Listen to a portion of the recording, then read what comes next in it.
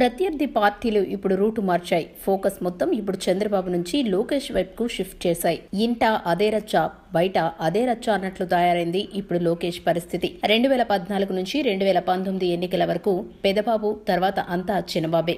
దానికి తగ్గట్లుగానే పార్టీ జాతీయ ప్రధాన కార్యదర్శి పదవి కూడా కట్టబెట్టారు.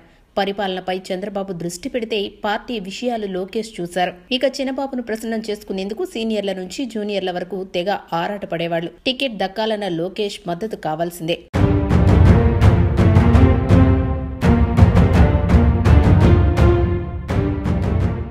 ఇదంతా ఒకప్పుడు. ఇప్పుడు సీన్ మారిపోయింది. పరోక్ష పద్ధతిలో లోకేష్ మంత్రి అవ్వడం పార్టీ ప్రధాన కార్యదర్శిగా ఉండి రాజధాని పరిధిలోని సీటు నుంచి పోటీ చేసి ఓడిపోవడంతో చినబాబు వ్యవహారం తేలిపోయింది.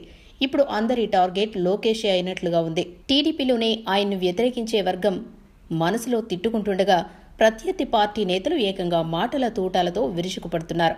లోకేష్ పెద్ద పప్పు అన్న వల్లభనేని వంశీ ఏదో ఒక రోజు లోకేష్ ఆయన సలహాదారులే పార్టీని ముంచేస్తారని విమర్శించారు.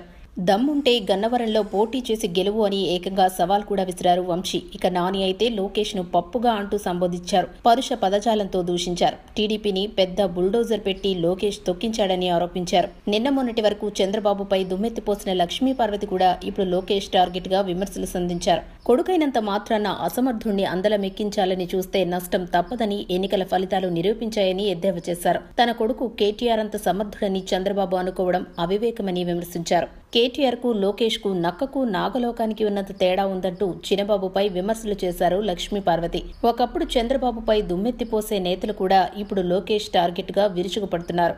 దీనికి తోడు దర్శకుడు వర్మ ఏకంగా తన సినిమాలో ఓ పాట పెట్టి మరీ రచ్చరచ్చ చేశారు. పప్పు లాంటి అబ్బాయి అంటూ లోకేష్ను ఉద్దేశించి వర్మ రిలీజ్ చేసిన ఓ పాట వైరల్ అవుతోంది. దీంతో లోకేష్ పరిస్థితి అగమ్యగోచరంగా తయారైంది.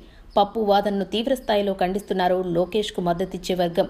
మా నేత పప్పు కాదు నిప్పు అని పట్టుకుంటే కాలిపోతారని సమర్థించుకుంటోంది. అసమర్థ నేత ఎవరైనా ప్రపంచ ప్రసిద్ధిగాంచిన కంపెనీలను పెట్టుబడులు పెట్టేలా ఆంధ్రప్రదేశ్కు తీసుకురాగలుగుతారా అంటూ లోకేష్ ప్రత్యర్థులకు కౌంటర్ ఇస్తోంది. ఇది కొంత లోకేష్కు ఊరట కలిగించేలా ఉన్న పరిస్థితి మాత్రం చేదాటిపోయింది అనేది మాత్రం కాదలనేది సత్యం.